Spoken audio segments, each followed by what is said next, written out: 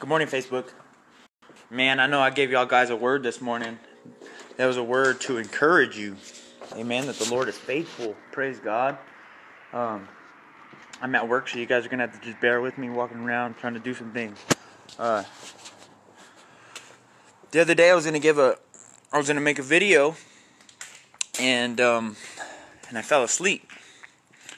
And then I woke up and, and I and I and I made a, a status saying uh, I fell asleep and I and I gave you guys a question to pray about. I gave you guys a question the other day to pray about. Good morning. Good morning, cousin. How are you? Praise God in the name of Jesus. You're going to want to listen to this. You're going to want to listen to this and you're going to want to share it. Um, so the other day, I gave a status and I asked a question. And the question that I had asked was Are you the murderer or are you the accomplice to murder?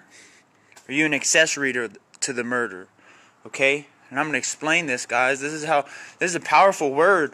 What I'm going to talk about today is something that most preachers won't preach about because it's not socially acceptable.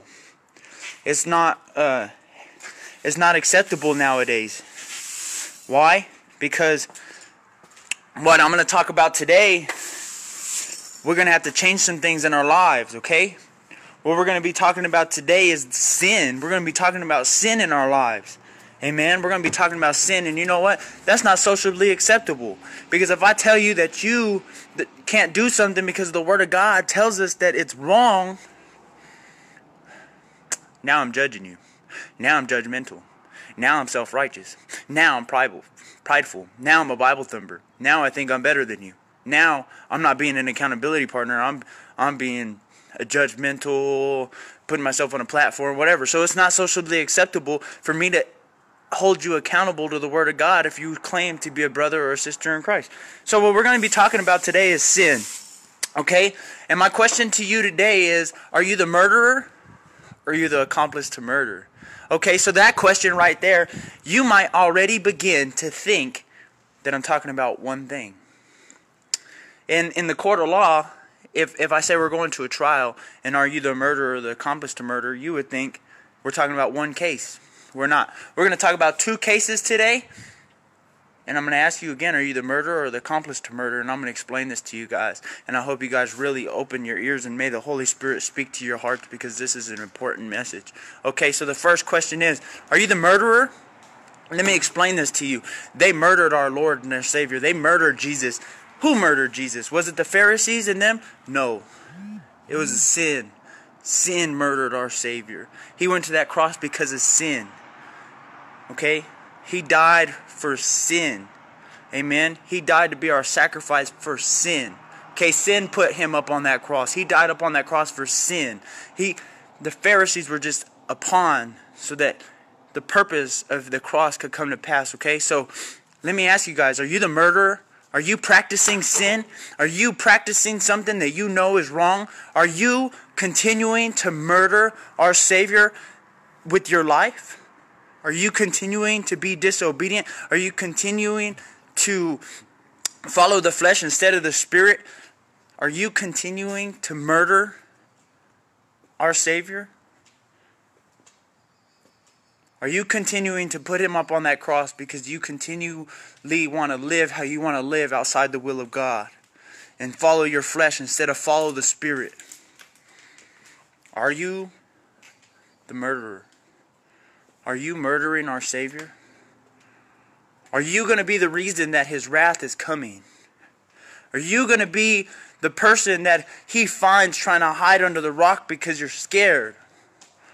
Or is He going to find you looking and loving Him at His appearing? Mm, are you the murderer?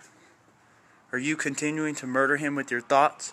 Are you continuing to murder him with how you treat people? Are you continuing to murder him about how you see yourself? Man, are you the murderer? Here's the flip side though. Or are you the accomplice to murder? Amen. Because you know what? Jesus premeditated murder. Amen. Jesus is the ultimate murderer. Amen. Because you know what? He killed my pain. He killed my hurts. He killed the things in my life that were hurting him. He killed the sin in my life. Amen. He went up on that cross because he wanted to become a murderer. He wants to kill the enemy out of your life. He wants to kill the pain in your life. He wants to bring healing and restoration. And he did that by the cross. Amen. He wants to kill the sin in you so that you could go and sin no more. Be perfect as he is perfect. Be holy as he is holy. Be set aside for the work of God that he has called you, preordained for you to do long ago before the foundation of the earth. Jesus premeditated murder. He knew that when he went to the cross, he would murder the power of sin and the power of the world on our lives. That is my question to you today. Are you the murderer? Are you continuing to nail our Savior to that cross by the way you're living your life? Are you the accomplice to murder? Are you assisting Jesus in murdering the sin in your life? Are you doing what you need to do so that way he could do what he needs to do in your life? Amen. You know what that means? That means he promises to clean you. He promises, he says in First John, he says that he will cleanse us from all unrighteousness and forgive us of all of our iniquities if you will repent. Amen. So we have to repent and be born again if we want to be cleansed. See, there's a cause and effect. We have to have our part. We got to do what we have to do in order for God to do it. He is going to do. Amen. So that's my question today. Are you murdering Jesus every day, how you live your life, or are you assisting him in murdering the things in your life that he wants dead? Amen. Let us be an accomplice with Jesus. Let us be found guilty with what Jesus is doing. Let us find be found guilty to bear the name of Jesus because that's a privilege. Amen. Let us pray. Most gracious God, in the name of Jesus Christ, we come to just worship you. We thank you for this day. We thank you for your mercy, your grace that has allowed us, Father, to just be partakers of your air, to be partakers, to have your air in our lungs and our hearts continuing to beat, Lord. It's all because of your grace, Father, and your mercy.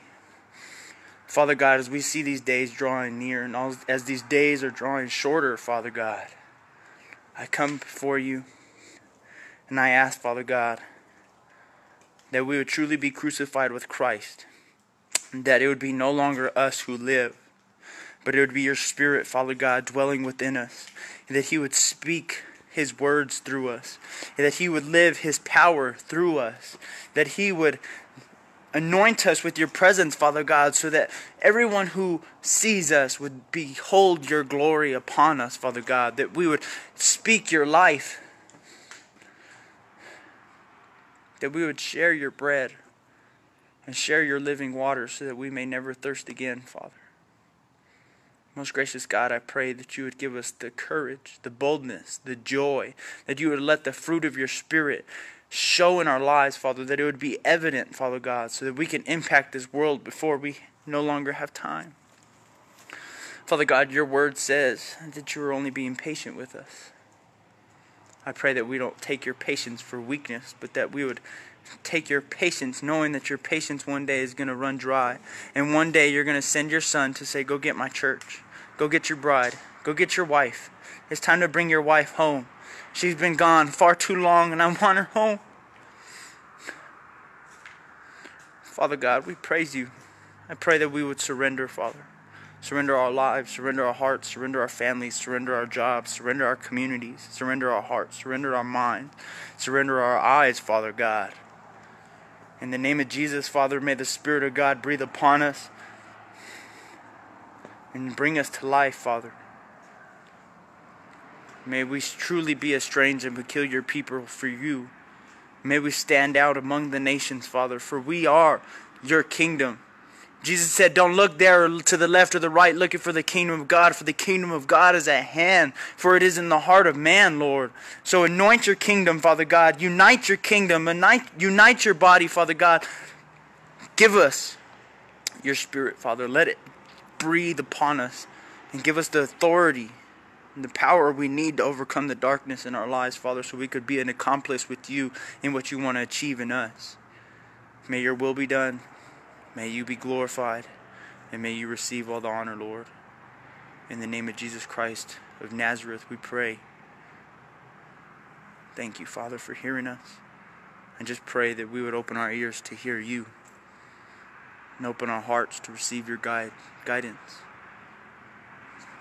That we would open our eyes to see as you see.